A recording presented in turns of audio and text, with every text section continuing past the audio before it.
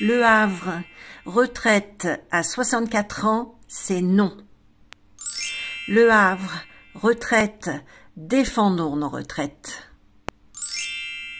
Le Havre, pas un an de plus.